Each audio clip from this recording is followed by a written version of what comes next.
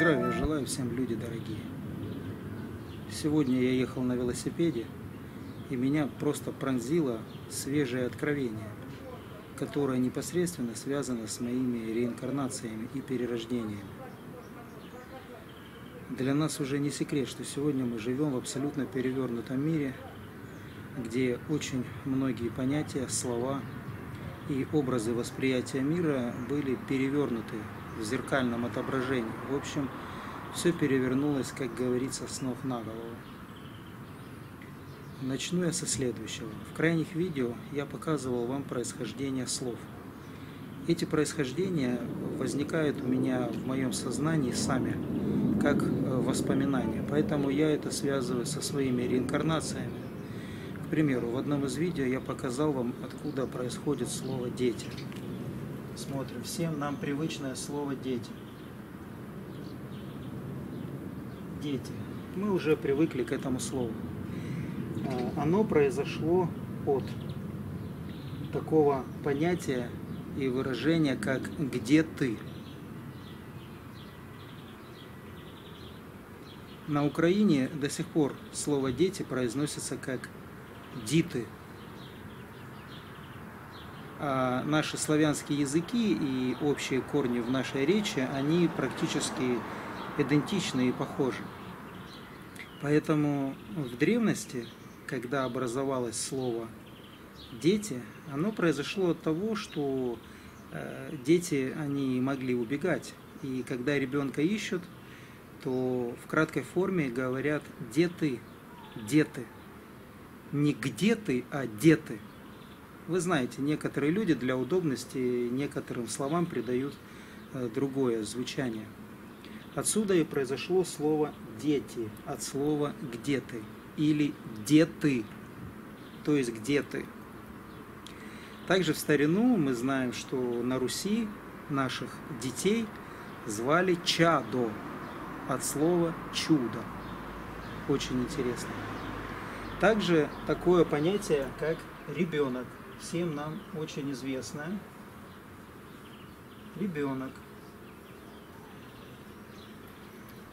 То же самое в моем подсознании раскрылось происхождение такого значения. Мы знаем, что в уменьшительно-ласкательном слове детей часто называют или именуют по специальности их родителей. Ну, к примеру, если папа летчик, то и про ребенка будут говорить, ну, к примеру, там еще один летчик, да, там, ну, в таком духе. У иудеев в иудейской культуре учителя называются ребе, ребе. Соответственно, в уменьшительно-ласкательном у ребе рождается маленький ребенок, а дети ребе – это ребята. То есть ни в одной энциклопедии вы это не прочитаете. Это я все выношу из своих предыдущих жизней. Также всем нам знакомое слово мошенник. Мошенник.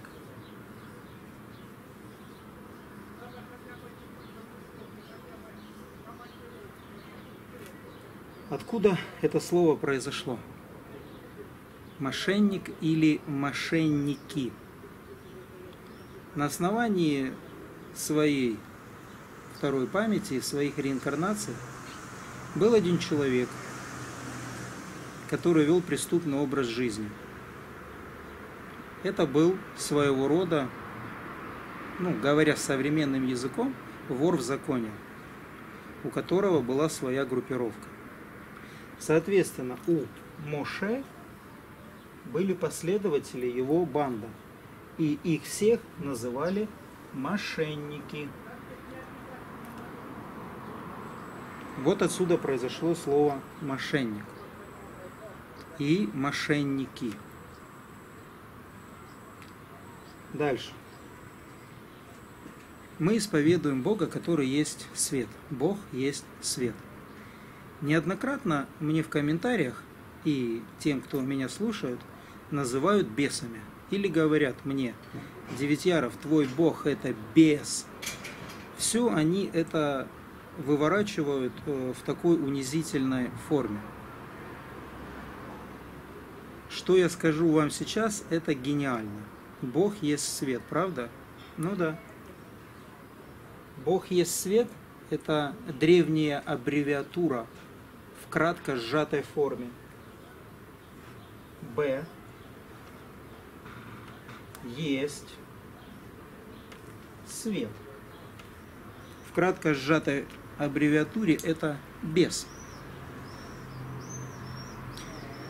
Мы живем в абсолютно перевернутом мире, где зло называют добро, добро называют злом и наоборот, а зачастую добро и зло смешанное вместе. Поэтому Бог есть свет. В древности под словом «бес» подразумевалось не то, что подразумевают сегодня. Бес – это краткая форма сжатого произношения «Бог есть свет». Поэтому мы, боги, еси светлые. Но не в негативном смысле этого понятия, как нам вбили в голову все в зеркальном отображении, а в самом, что ни на есть, позитивном. Вы понимаете, где мы живем? Также я разбирал еще многочисленные слова, такие как э, дурак или дура. Ду всегда означает дуальность и двойственность. Ра всегда означает свет. Отсюда наши древнеславянские слова. Ра – свет, ра – дуга, ра – дуга. Ра означает свет. Или в обратном порядке ра будет ар или ари. Ар или арий – это земля. Ар – это земля. Арий – это землянин, землянин. Отсюда проистекают и нам всем известные слова. Аршин, Арий, то есть землянин. Или Аратай. Аратаи – это пахари, те, кто э, пашут на поле. В общем, мы живем в очень интересном мире – и при соединении с небесным светом очень многие вещи показываются. Конечно, сложно э, в нашем мире перестроиться на такое понятие, как э, кратко сжатая аббревиатура слова «без», «боги есть и светлые», да? Вот, или «Бог есть свет». А, конечно же, сложно перестроиться в этом мире, в котором мы сейчас живем, в матрице этого мира. Конечно же, под словом «без» подразумевается грязный, нечестивый человек. Хотя, в принципе, вот меня обзывают бесом в комментариях, да, и они говорят, что мой бог это тоже бес. Они меня обзывают, очерняют, создают на меня видео, говорят, что я такой гадкий мерзавец, но это в их глазах я гадкий и мерзавец. Почему? Ну, потому что я не такой, как они. Они говорят, что я бес. Но по факту я не бес в том смысле, как они думают. Но я есть Бог, есть и светлый. Да и в законе вашем написано, вы боги. Правда? Меня также обзывали еретиком, Христианстве это слово имеет абсолютно негативный характер, но по факту это очень замечательное слово – еретик. Ерь по древнеславянской буквице означает в твердом или в мягком произношении означает как начало сотворения чего-либо или начало процесса. А тика – это движение. Отсюда галактика, гало – это световое кольцо, тика – движение – и так далее. То есть еретик – это начало процесса, это процесс движения, процесс творения чего-либо.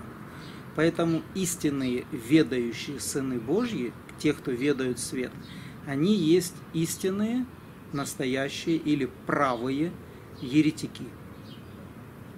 Ну вот, как-то так. Поэтому еретик – это замечательное светлое слово – все остальные слова мы разобрали. Ну и подошли к финалу без. Так что приветствую вас, боги Еси, светлые.